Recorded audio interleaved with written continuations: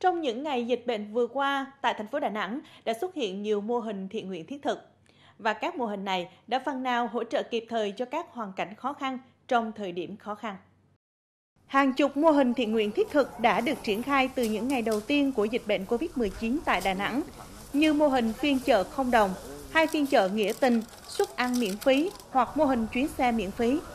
Tất cả đều hướng tới những người dân gặp khó khăn cũng như các lực lượng trên tuyến đầu chống dịch để cùng với sự hỗ trợ của chính quyền thành phố đảm bảo tất cả những trường hợp khó khăn đều được nhận hỗ trợ.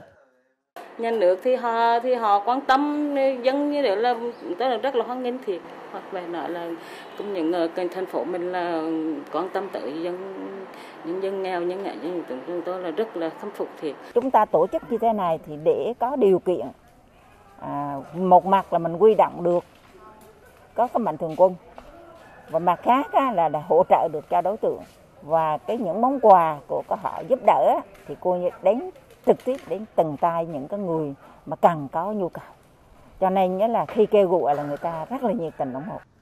Theo thống kê trong đợt dịch bệnh Covid-19 vừa qua chỉ tính riêng quỹ cứu trợ thành phố Đà Nẵng đã tiếp nhận hơn 58 tỷ đồng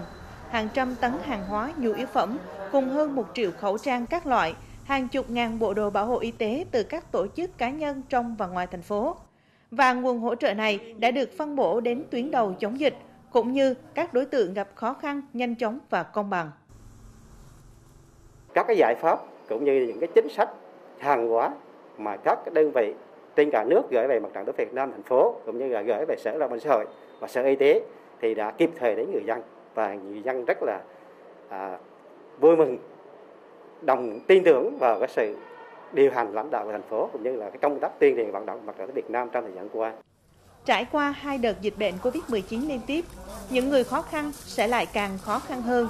và những phần quà như thế này từ các cấp chính quyền đã giúp người dân ấm lòng, yên tâm cùng thành phố chống dịch.